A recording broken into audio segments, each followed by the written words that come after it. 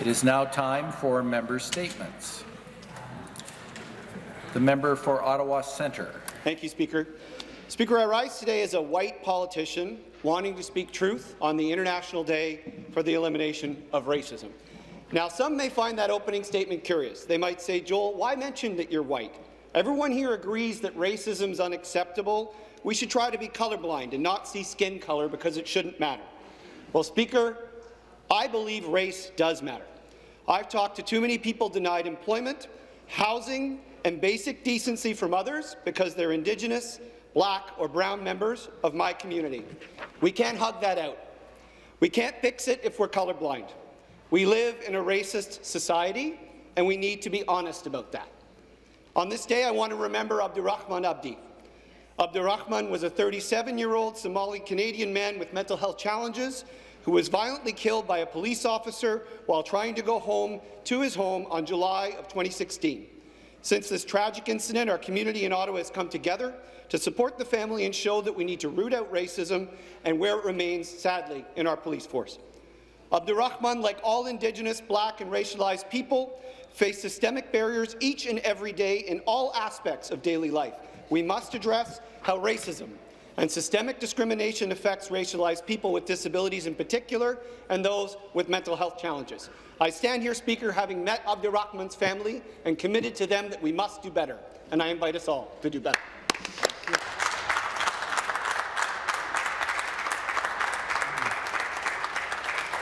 Member statements. The member for Aurora, Oak Ridges, Richmond Hill. Thank you very much, Speaker. Well, Speaker, yesterday marked the first day of spring in Ontario and around the world. It was also the welcoming of Nowruz, also known as Persian New Year. Speaker, Nowruz is an ancient and festive celebration that commences at the exact time of the vernal equinox. It has been celebrated for more than 3,000 years and continues to be the prominent holiday for many countries around the world. This ancient day is, uh, is not only celebrated in Iran, but in various Central Asian, Asian countries such as Afghanistan, Turkmenistan, Kyrgyzstan, Uzbekistan, and the Republic of Azerbaijan, and parts of Pakistan, India, and China, and in the Kurdish region of Turkey, Iraq, and Syria. Diaspora populations from these countries continue to keep the traditions of this beautiful celebration going, and the new countries they call home. Over 250 million people around the world celebrate this joyous and festive holiday. Right here in Ontario, over 100,000 families and communities gathered around their beautifully decorated haft-seen table to ring in the new year. During the 13 days, families, friends, neighbours will continue to celebrate the start of Nowruz by attending various parties and festivals around the province and by visiting one another to share the happiness, joy and renewed hope of the new year. Speaker, as a Canadian of Iranian descent, it is with great pleasure and pride that I rise today to wish all those celebrating this ancient tradition a happy, healthy, and prosperous New Year. Noruzitan Piruz, Haruzitan Noruz.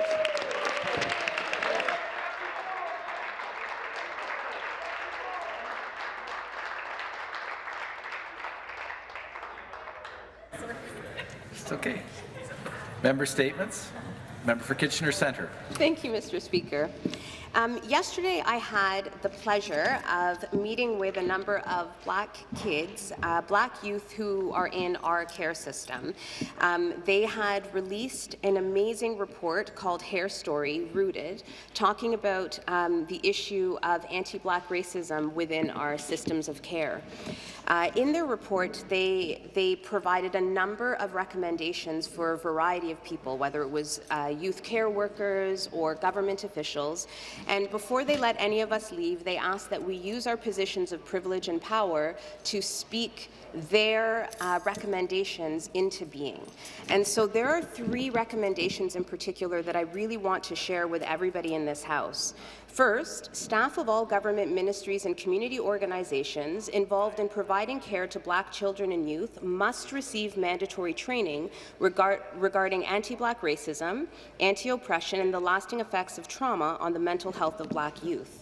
Second, when creating and developing strategies, policies, or practices to support Black youth, government ministries, service organizations, and other stakeholders must work directly with Black youth to provide their input into the process and content.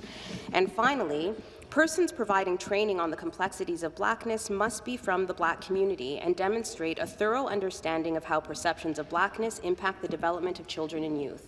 I hope that today, as we celebrate the day to eliminate racial discrimination, that we take these recommendations to heart, that we do this work, and that we do better for our youth in care.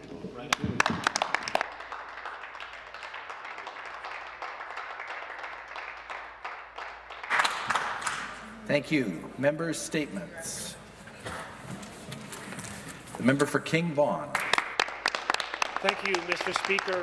I rise today to recognize and celebrate the amazing achievements of a Canadian who embodied the best of our values, Mr. George Leslie Mackay. Born and raised in southwestern Ontario's Oxford County, Dr. Mackay spent much of his time in what is today Taiwan. As the first Presbyterian missionary to Taiwan, he introduced concepts and practices of public health care, female education, and Christianity to the island.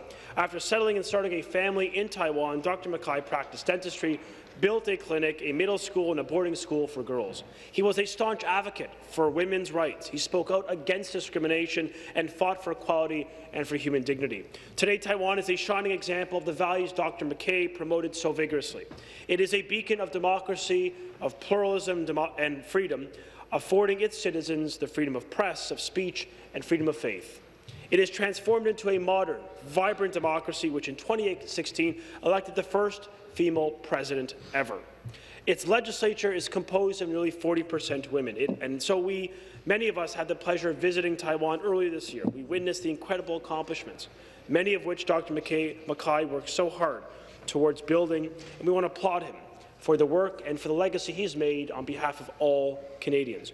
I can say without any doubt that Taiwan is a genuine and reliable partner for Ontario and for all of Canada, a country that upholds the rule of law, a country that stands for democracy in a region of the world that could use more of it. So today, Mr. Speaker, on the 175th anniversary on his birth, I want to recognize the great contributions of Dr. Mackay and highlight the strong friendship, the enduring partnership between Canada and Taiwan, the two countries he called home. Thank you, Mr. Speaker. Member statements. The member for Hamilton East, Stoney Creek. Thank you, Speaker. Speaker, yesterday my colleague Sandy Shaw and I asked the Minister of Transportation about his ministry's role in public safety on our roads here in the province, specifically regarding Hamilton's very own Red Hill Valley Parkway. As many people here know, a reported commission by the City of Hamilton was unearthed after it was buried in 2013. This extremely important document detailed the substandard levels of tire traction on the major artery roadway linking two provincial highways, the QEW and the 403. The municipality of Hamilton is dealing with their own questions about this report, especially why it was never shown to members of council until it was rediscovered earlier this year. While the city figures out its course of action, the people of Hamilton deserve answers, and they have good reason for that. The Red Hill Valley Parkway is not just a bumpy, slippery road. Lives were lost. And the families of these victims want to know why they have had to suffer this tragedy with no answers. It seems that the minister wants to pin the blame of his hidden report on the City of Hamilton and wash his hands of it. This is not a blame game. It's about public safety. What, what we're asking for is this. One, the City of Hamilton should, should know that the province will assist with any judicial inquiry, especially when it comes to the financial burden of conducting such an in-depth undertaking. Two, the province should also review its own policies regarding the regulation of high-speed roadways, such as the Red Hill Valley, especially when they serve as conduits between our provincially regulated highways. What, what is the point of ensuring safety on the QEW when the road that gets you there is dangerously unsafe? Thank you for this opportunity, Speaker, uh, to raise these concerns, and I hope the members opposite take action on these serious matters of public safety.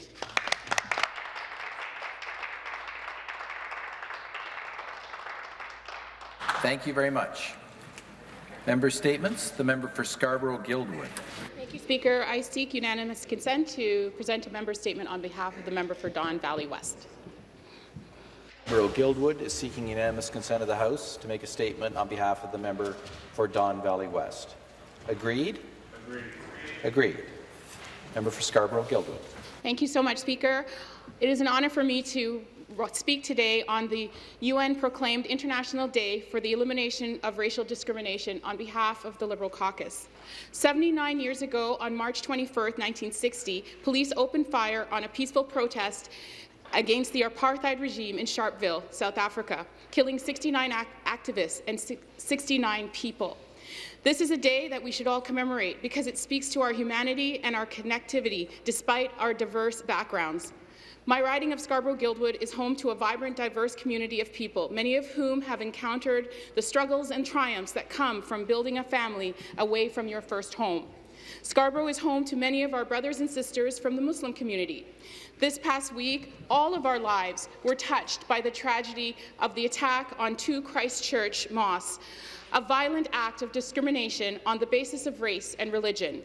We need to remember the spirit of this day and of decades of resilience when conducting ourselves as leaders and as elected representatives in this House. Today, on the International Day of the Elimination of Racial Discrimination, I call on my colleagues in the House to practice active solidarity with racialized communities. Solidarity requires policymaking that supports the most vulnerable people in our communities. And importantly, solidarity means having voices at the table that reflect the vibrancy and diversity of our communities that we ourselves claim to represent. Thank you, Speaker. Thank you. Member statements. The member for Niagara West. Thank you, Mr. Speaker. Speaker, currently in my riding of Niagara West, there is no proper truck route heading north-south up the Niagara Escarpment to Smithville between Beamsville and Grimsby. The closest intersections are from Centennial Parkway all the way to Victoria Avenue. As a result, both towns have hundreds of heavy trucks coming through every day, which can be very dangerous, especially in icy conditions. Many transport drivers are forced to take the narrow, curvy, and unsuitable roads that run through the downtown up and down the escarpment. And so it is of utmost importance that we ensure a safe alternative for these transport drivers and for all the citizens of Beamsville and Grimsby. That's why, Speaker, I was so excited to welcome to Niagara West the Minister of Infra Infrastructure, Monte McNaughton, to discuss the need for the Bartlett Extension project in my riding. Bartlett Extension currently extends south beyond Main Street East in Grimsby, paving the way for a continuation of the avenue up the escarpment, which was the initial intent when shovels hit the ground 40 years ago. The extension of Bartlett Avenue in Grimsby South would ensure proper transit between West Lincoln, Beamsville, and the QEW. Speaker, I'm excited to tell all the regions of all the residents of the Niagara region that together with local mayors and councillors, our government is working hard to come up with a strategy that would see the Bartlett Extension project completed. Once again, I wish to thank Mayors Bylsma, Easton, and Regional Councillor Fertich for meeting with Minister McNaughton and myself to work on this important project. Thank you, Speaker.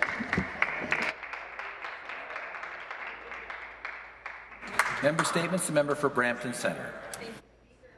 What an honour to rise here today on World Down Syndrome Day to celebrate all people with Down syndrome. I'd like to celebrate and commemorate this day by um, sharing a little story about my younger sister, Gervier, who is a person with Down syndrome. Um, Gervier was born um, on December 22nd, 1991, so she is now 27 years old. When she was born um, in Montreal, actually, uh, the doctors told my mom that they should consider uh, adoption. Um, they did not actually uh, advise my mom on options for care or support in the community. What they did do was let her know that there were uh, adoption options that were available. My mom, in fact, told the doctors that uh, she did not see my sister as a challenge, but as a gift for our family, so that we could learn and see the world a little differently. And indeed, over the last 27 years, I have, and members of my family have definitely seen the world very, very differently.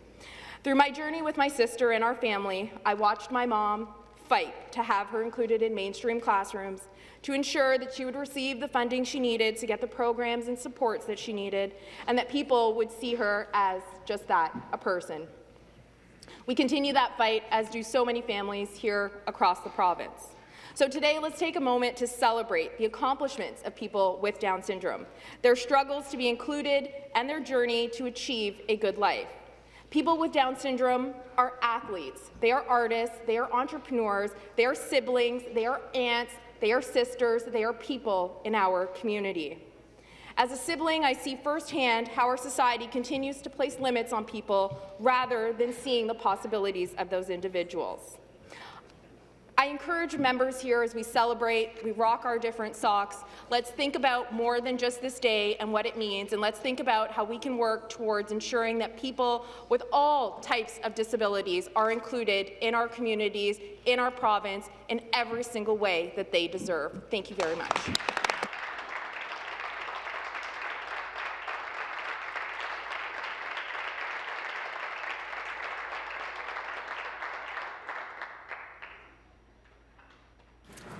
Thank you.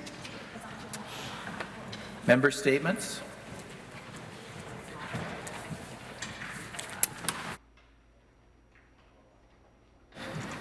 The member for Markham Thornhill.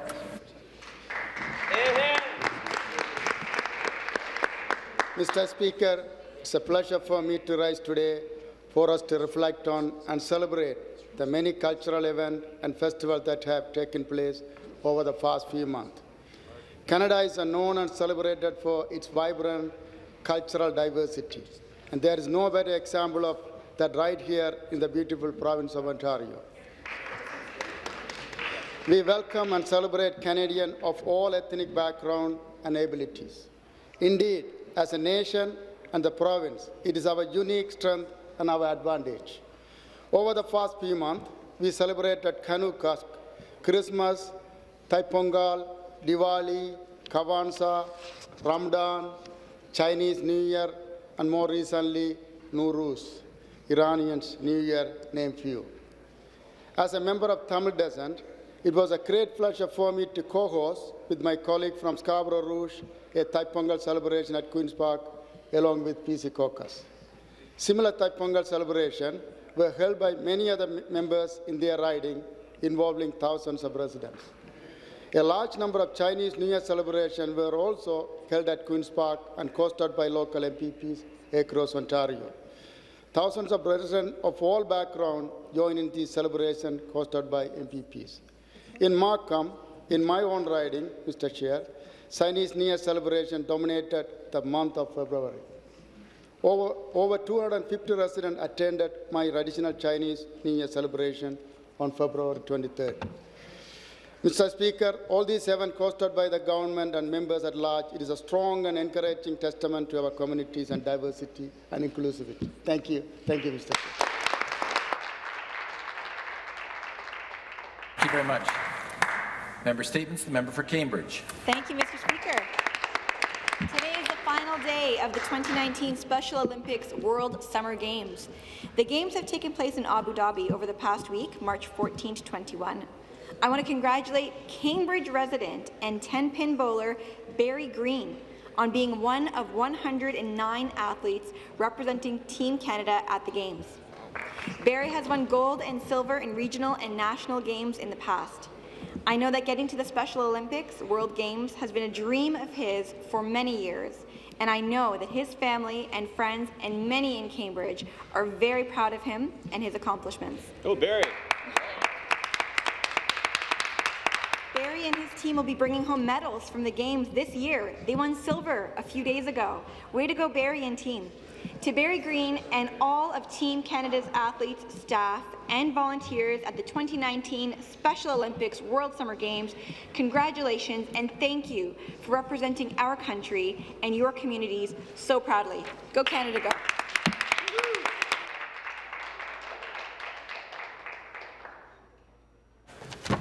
That concludes our member statements for this afternoon.